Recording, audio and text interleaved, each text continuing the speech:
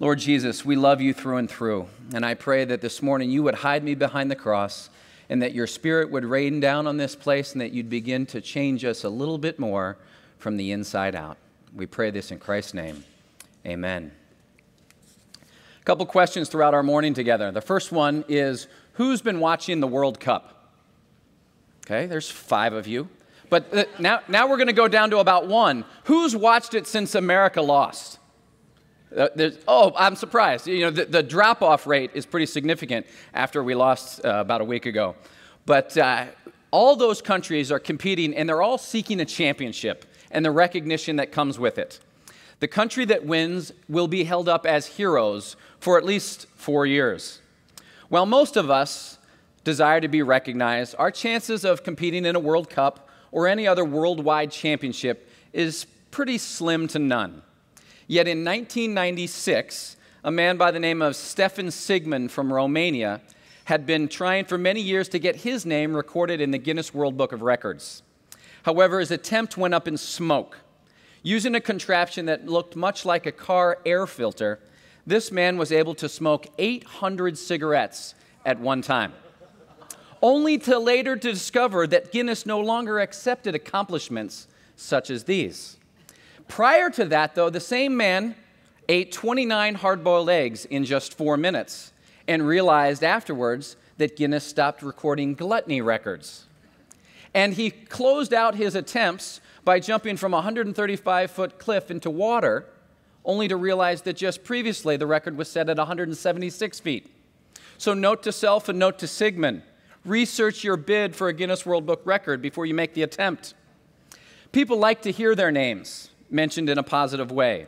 And our text for this morning is a list of people who have made some pretty amazing accomplishments. And alongside of them, there are a few who were listed who never even joined the team. And I find it interesting that the man Nehemiah is never mentioned in this chapter that we're going to look at this morning. My hunch is he wanted to keep the attention on his peers. And there are many attributes of Nehemiah, but this attribute of humility is woven through this chapter of chapter 3. Nehemiah is ultimately ripping a page of the Jerusalem white pages out for us this morning. The passage includes 38 names, 42 work teams amongst seven neighborhoods. And despite being a chapter that most of you probably skip when reading through Nehemiah, it is riddled with truths that we'll discover and the significance of both the name and this exceptional leader named Nehemiah. However, as I indicated, most readers skip this chapter simply because they can't pronounce the names. But it is a prime example that all scripture is God breathed and useful for teaching, rebuking, correcting, and training in righteousness, according to 2 Timothy. Call me a bit crazy, but this morning we're going to take a little bit of time to read just a few of these names. And I'm going to ask that you would be full of compassion and grace when I attempt to do this, because I'm not going to say, read it along with me, but follow along with me. Chapter 3. Eliashib the high priest and his fellow priests went to work and rebuilt the sheep gate. They dedicated it and set its doors in place, building as far as the Tower of the Hundred, which they dedicated, and as far as the Tower of Hananel. The men of Jericho built the joining section and Zaccur, son of Imri, built next to him. The fish gate was rebuilt by the sons of Hassenaah. They laid its beams and put its doors and bolts and bars in place. Meremoth, son of Uriah, son of Hakkoz, repaired the next section. Next to him, Meshullam, son of Berekah, son of Meshezabel, made repairs, and next to him, Zadok, son of Baana, also made repairs. The next section was repaired by the men of Tekoa, but their nobles would not put their shoulders to work under their supervisors. Skipping down to 8. Uzziel, son of Harahah, one of the goldsmiths, repaired the next section, and Hananiah, one of the perfume makers, made repairs next to that. They restored Jerusalem as far as the broad wall. Rephaiah, son of Hur, ruler of the half district of Jerusalem, repaired the next section.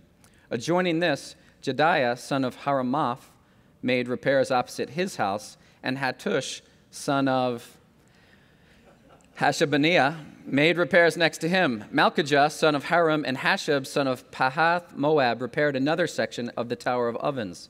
Shallum, son of Holahesh, ruler of the half district of Jerusalem, repaired the next section with the help of his daughters.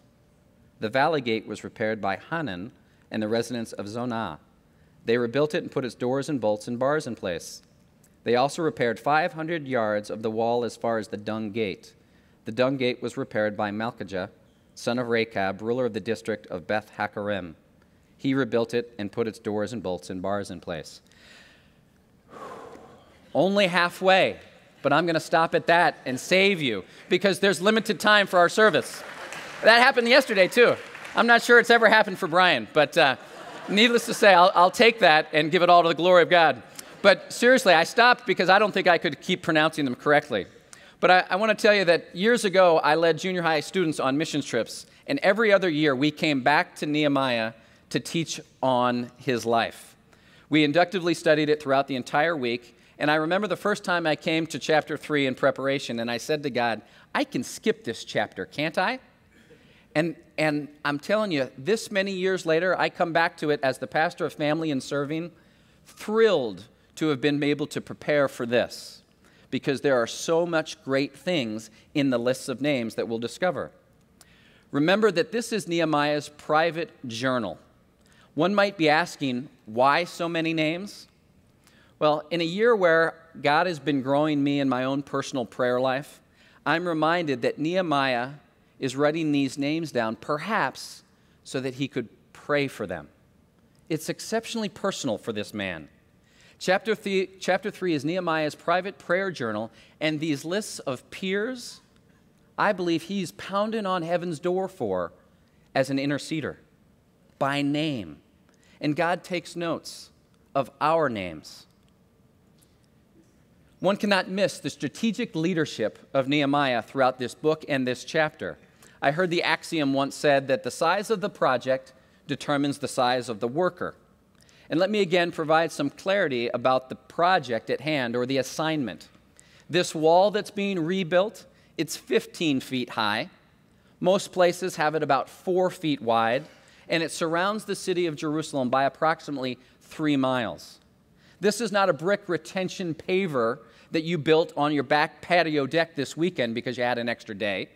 This is even more expansive than the wall that Serve the World funds were used last year when we sent them over to Art and Dorothy Hellwig to build a protection wall around their home, their ministry center, and the clinic for HIV and AIDS patients in the easternmost part of Nigeria.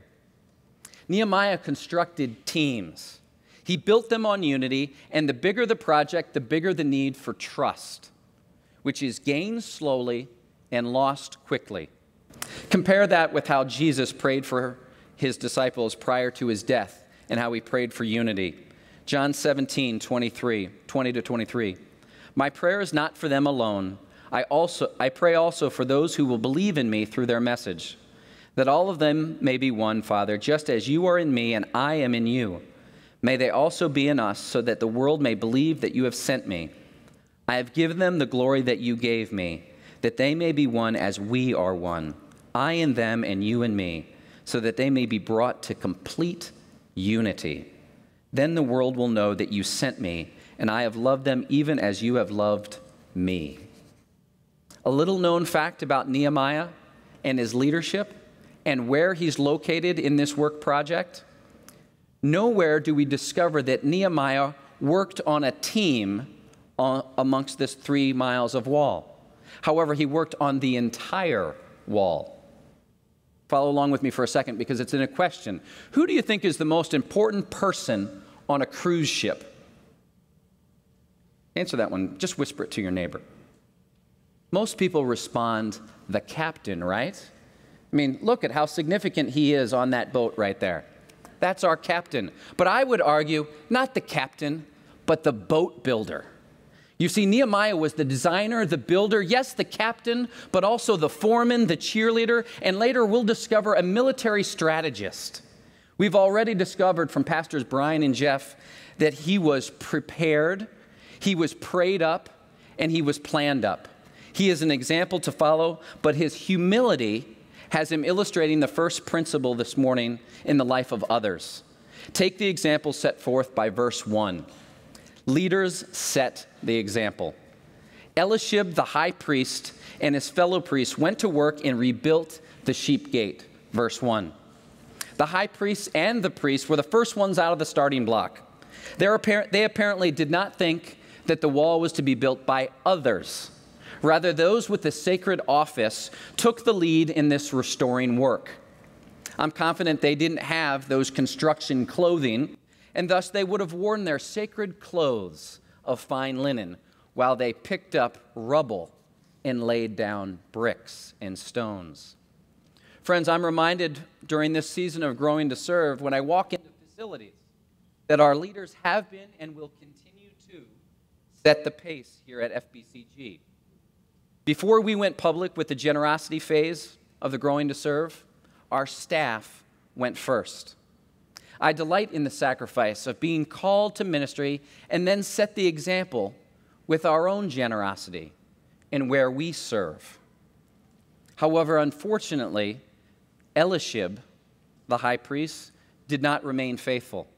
And he later partnered with the enemy, and we'll discover in verse in chapter 13, he created great havoc for Nehemiah.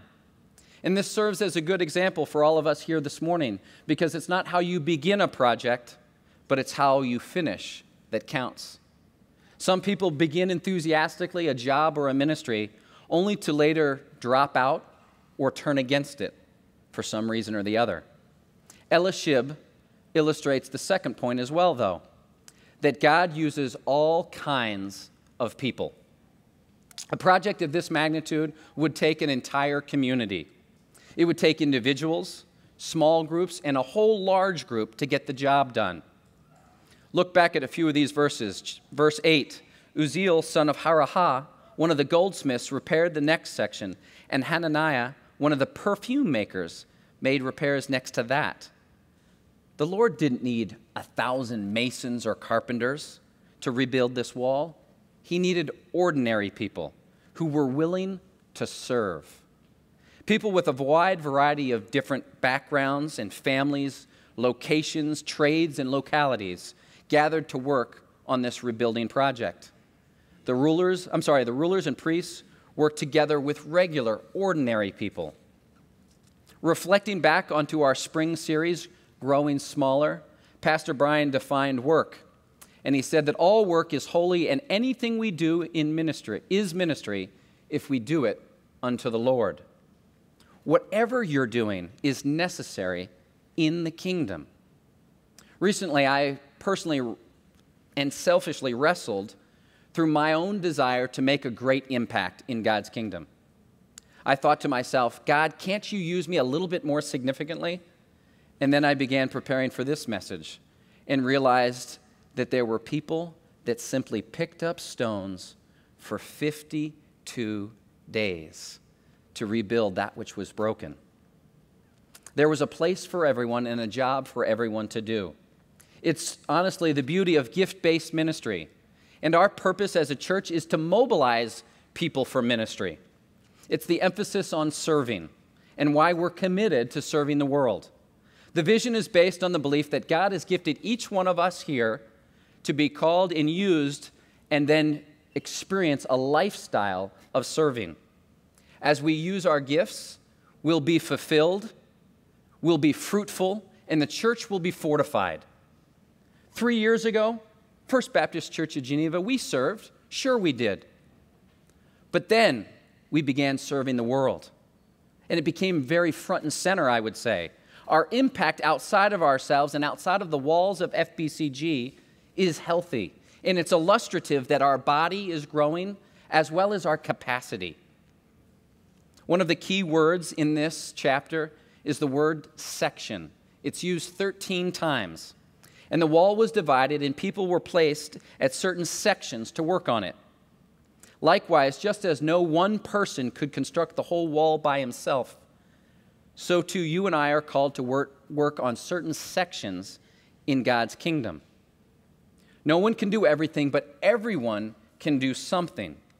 Paul reminds us in Romans 12 we have different gifts according to the grace God has given us. I'm going to pause and ask you a concluding question right in the middle of the sermon. Are you serving in your area of giftedness? Are you serving? Because if you're not, it's time right now to use a pen around you somewhere and to write down a name of someone that you can call in the next 48 hours to find out where you can engage and begin serving because you're never going to have enough time.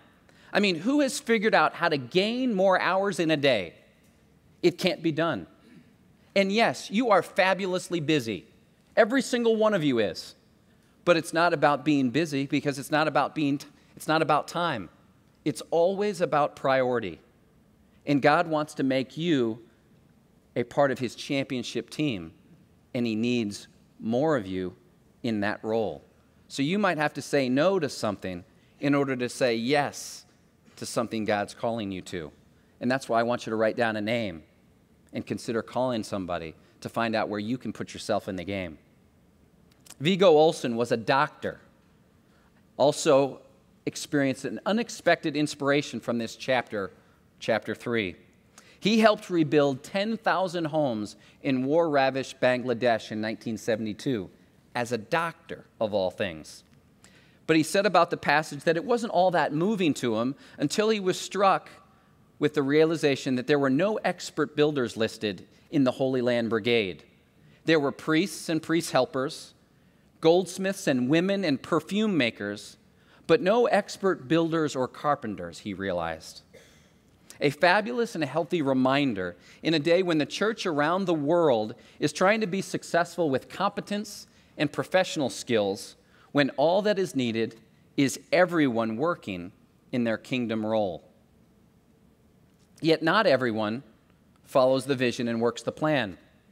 There's arrogance in this community of Nehemiah chapter 3. Don't miss it. There's 38 names mentioned, but there's also the mention of the nobles of Tekoa in verse 5. Read this with me. The next section was repaired by the men of Tekoa, but their nobles would not put their shoulders to the work under their supervisors. It seems that the nobles of Tekoa refused to assist in the work. Did they think it was beneath them? Tekoa was a town 11 miles away from Jerusalem, and while some of them made the commute, the nobles of Tekoa, they phoned in sick. They refused to participate in God's work. They f- refused to obey orders. They were too proud to submit themselves to the supervisor's job instructions. The phrase would not put their shoulders to work suggests that pride was the significance in their lives. Nehemiah is using an agricultural term that refers to a stiff necked ox who refuses to be yoked. A few sermon series ago, Pastor Jeff used the expression to goad. Do you remember that? Powerfully influenced my life. And so this morning, I'm going to say, I'm going to goad you just a little bit. Because anyone who refuses to roll up their sleeves and work and feels too important maybe to spend time with a hurting person or to serve in student ministries or children's ministries, or to help locally, or to help a hurting neighbor? Well, Jeremiah 48:10 stings those of us who sit back idly. It says a curse. Jeremiah says a curse on him who is lax in doing the Lord's work. Those who are lax in the Lord's work are not only subject to a curse, they're missing out on one of the greatest privileges of all time. There is nothing, absolutely nothing better than serving in God's kingdom. And it's even more grand when you do it with your friends and with your family. And that's my final point this morning faith at home. What do you make of those who carried out the repairs in front of their houses? What's wrong with that? Think, they would likely perform quality repairs amongst their own home if they lived right along this wall, wouldn't they? In 1948, when the Jewish sector, sector of Jerusalem was being strangled by the Arabs, there was little time to get the women and the children to the coast because of Jerusalem being besieged. A man by the name of Dov Joseph, a Canadian lawyer, was in charge of the food rationing in Jerusalem, and he refused to evacuate. He reasoned the fighting spirit of Jerusalem's men would be raised if their homes lay helpless just behind them. Those men would have no illusions about their family's fate if the city were overrun. The pain of that decision, the awareness of the terrible moral burden that would befall on him if Jerusalem fell, weighed on him for months. But as he would remark years later, he said, We did not favor the easy way. Clearly evident that personal interest is a strong motivator. And the stories that each one of us could share regarding the passion for our family and what we do to protect them, to serve them, and to simply be with them, I would argue is huge. Four years ago, I served in Kenya with Justin Aarons, and I made a decision on that trip to, as po- often as possible, to take one or more family members on every trip that I did in serving. And since then, I've taken each of them somewhere. I've gone to the Dominican Republic, to Mexico, and to Ecuador, even to Michigan and Wisconsin. We've immersed ourselves as a family with refugees in Aurora, and then also in a government subsidized housing unit on the east side of Aurora. And what I'm telling you is that God is changing each one of us from the inside out while we do ministry together. But back to chapter 3. There are six different workers and an unknown number of priests who repaired the portions of the wall next to their homes. If all of us follow the example, our neighborhoods would look differently, I would argue. Friends, look at your neighbors as your mission field.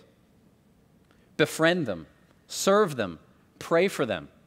I want to challenge each of you to select two of them to commit to doing three things to pray and care and share with them. Because as you pray for them, God will give you opportunities to serve them. And while you serve them, God will give you opportunities to tell them the good news. Notice I didn't say five to 10 neighbors, I'm saying two. Because if you're successful with just one, think of the reach that First Baptist would have in, that fam- in, in our community. Think of the gospel stories that we would be sharing if everyone listening this morning reached and shared the good news with just one. It would be epic our ministries would expand and the gospel would be shared, and families and whole neighborhoods would be transformed. Friends, we're called to start at home, but we're not supposed to stay there. Verse 3 the fish gate was rebuilt by the sons of Hassenaah.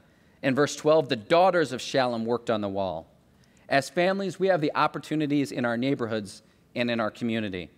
Instead of just looking as individuals, begin to think creatively as a family of what you might do to influence the kingdom in your neighborhood. Just last week, 20 of us gathered after worship to discover where we will engage in a home called Brian's House in, in Aurora. There's four to six families from around the world that live there, and First Baptist is going to engage and figure out how to build those relationships. As a church, we're committed to impact our city, our county, our country, and our continent, and the other six continents as well. But it first begins at home. John 15, 16 says, Jesus told his disciples that he appointed them to go and bear fruit. The word appointed means he strategically placed them. The key truth that emerges in this passage is that God has placed each one of us strategically right where he wants us to be. And each one of us have been placed in a home. At this time of the year, I run the river trail every morning, and the geese and their overly protective mothers are wreaking havoc on the runners. All right? But they remind me of that flight pattern that they do every fall when they fly south. And they don't fly too far south because they're always around us here in Chicago. But when I see them flying, one side of that is always a little bit longer in that V formation. Do you know why that is? Well, it's because one side has more geese than the other. But seriously, they're all flying about, a th- they're thousands of miles they're flying, and they're all getting there because they're working together. And there's three things I want to conclude with this morning about geese, believe it or not. Geese fly in that V formation, and that V formation reduces their effort by 71%. 71% easier to do it in a V than to do it alone. Secondly, when one falls out of the formation, two geese will follow that one down to help it and to nurture it and care for it before it's healthy enough to fly back in and fly in with another V formation. And then finally, this is the part I love about geese because I'm, I'm a honker. The geese at the rear of the formation, they're the ones honking. It's their way of announcing to the entire crew everything is going well. The repeated honks encourage the ones in the front to stay strong and to stay at it. And as I think about all of this, the one lesson that stands above all the others is that it's natural. It's a natural instinct for geese to work together. Whether it's flapping or helping or simply honking, the flock is in it together, which enables them to accomplish what they set out to do. This morning, I've shared a variety of challenges and opportunities with our church family.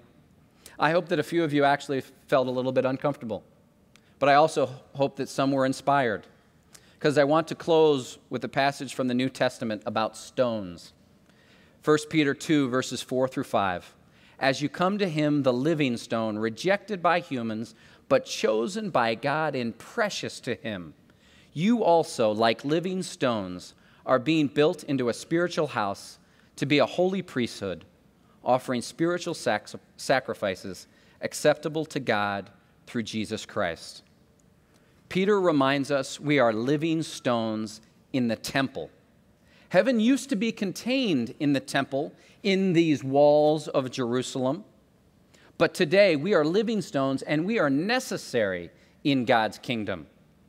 Some of us are being used for the very first time, others are being reused. However, each stone in the Master's hand has a special purpose. And this morning, know that God made you for a special purpose in God's kingdom. Amen.